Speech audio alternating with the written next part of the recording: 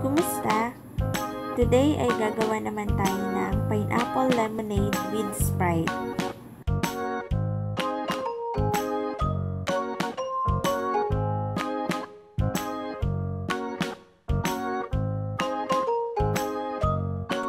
Welcome to Fria's Kitchen.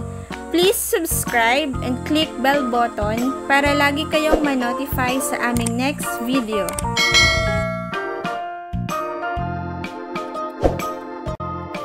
Ingredients.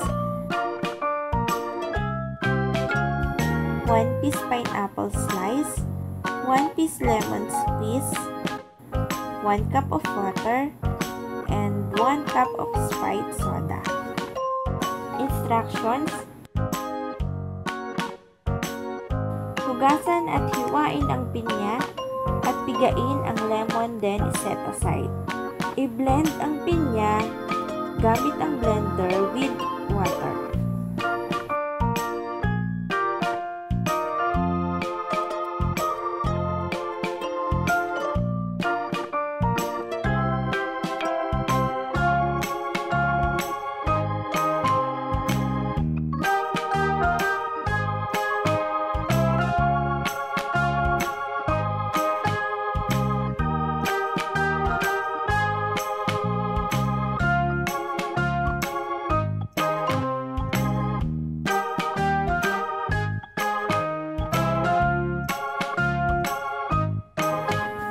Sa isang baso, ilagay ang ice cube.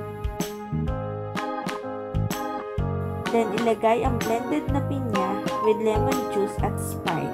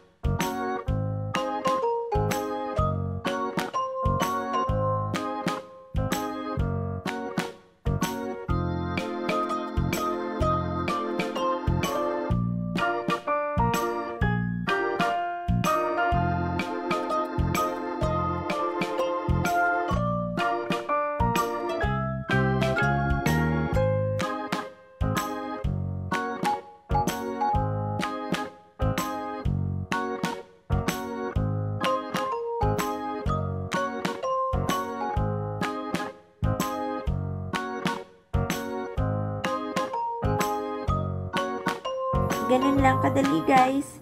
Serve and enjoy!